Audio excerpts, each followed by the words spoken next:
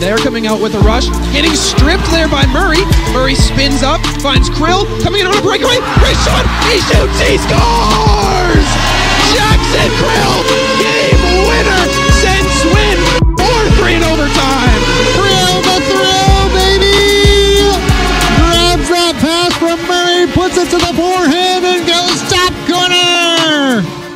Jacob Smith picks it up with his head up ice, and I'll try to get around Zenny Miles, making a nice move, goes back to her, fires it on, goes wide of the net, but the puck finds the back.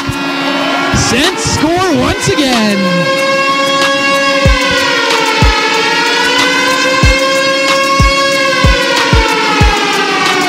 Jacob Smith.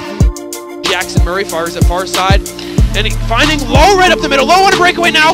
Fires it just up and wide. Off the backboards. Comes to the front of the net and batting it in is Jackson Murray. He shoots, he scores. It comes floating back towards the front of the net. And Jackson Murray channels his inner Jose Bautista on that one.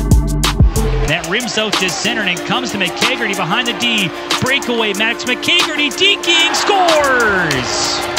Maddox McKegarty on the blocker's side outweighs Derek Sparks, and he scores his first BCHL goal, and it's 3 2 Penticton. McKegarty just fouls that missed shot by Spencer Smith that rimmed around the boards.